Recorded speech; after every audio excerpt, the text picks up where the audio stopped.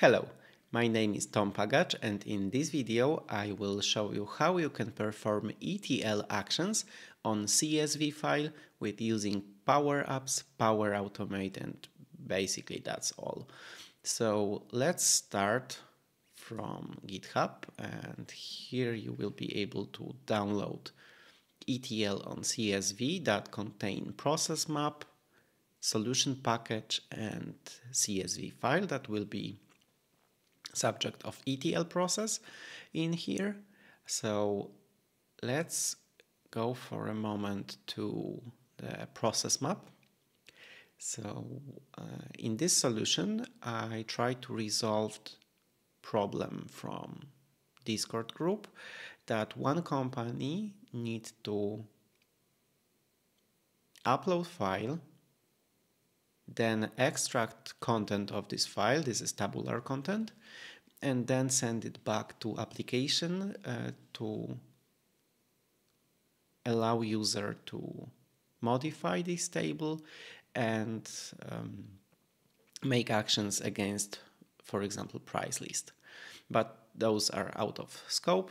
Mm, so I figured out that it may be done within attachment of course, uh, you can upload this to many data sources. I choose uh, OneDrive because uh, CSV file have one advantage on OneDrive that once you upload it and then try to get content file of CSV particular from OneDrive, mm, this won't be base 64 as in SharePoint or Dataverse, it will be plain table, so we don't need to perform any other actions later on.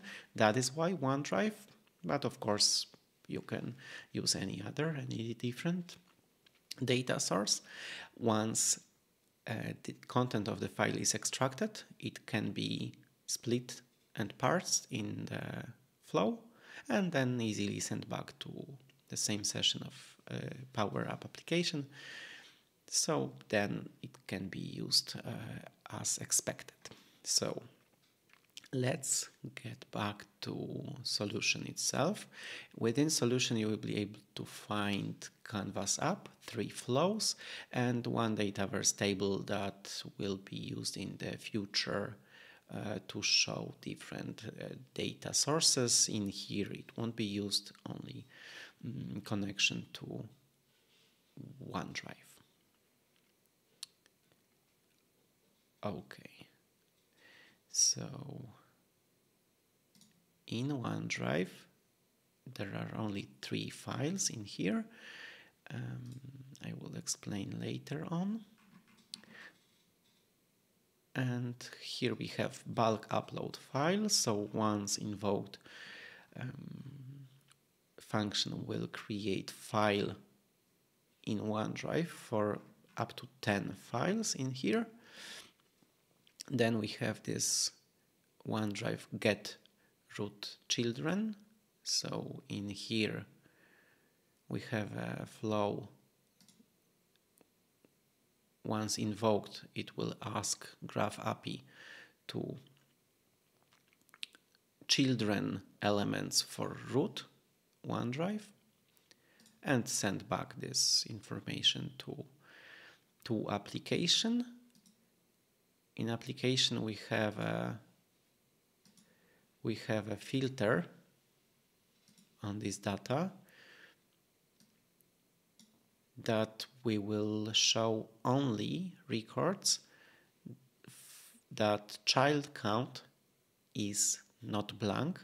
Child count is property under folder property that is counting how many elements are inside the um, the element so it point out straight that this element if have zero or more elements like child count um, it must be a folder so that is why I'm able to filter out files and things that are not folders so basically files and the last flow, which is in here, is parse CSV.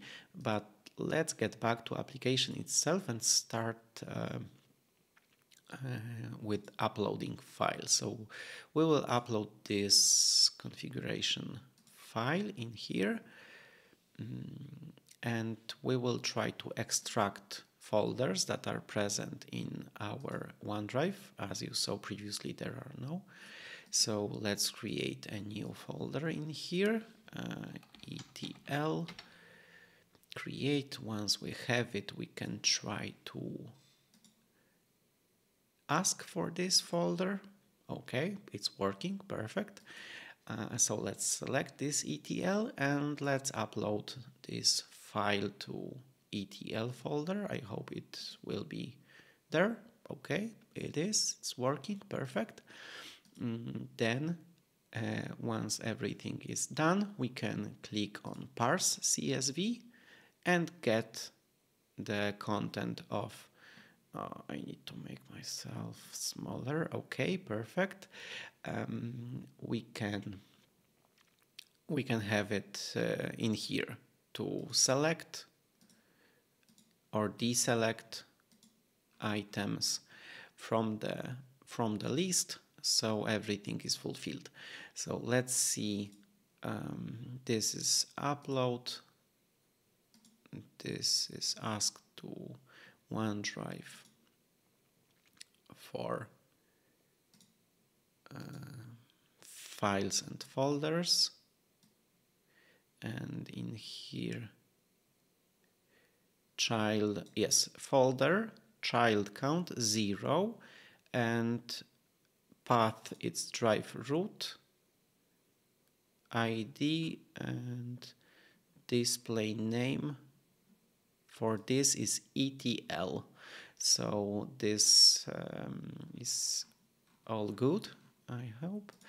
And then we have this last function that is parse CSV. Last one. And here we have um, path for the get file content using path.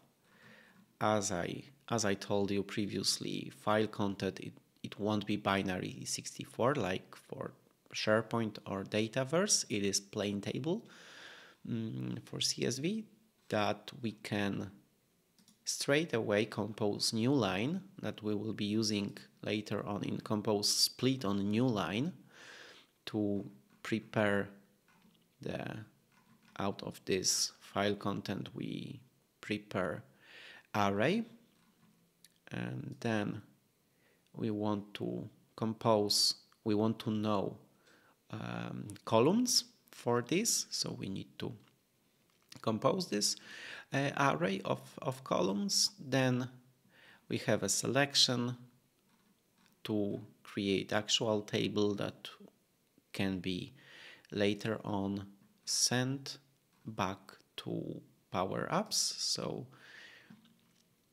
let's click on edit to see this compose. This is simple split on outputs from get file content using path and split is with compose new line. So basically here we have a, sorry, uh, enter only. Nothing else. Uh, split on columns uh, we are using also first for this split on new line. So for the first row, we will um, compose this and select. For select, we need to skip from compose split on new line. We will split headers, um, so columns name, and map is outputs we are starting from zero, counting from zero, um, and then we have a split on item and basically the only last number changing in, the row. So with this you can you can compose the table and then send it back to um,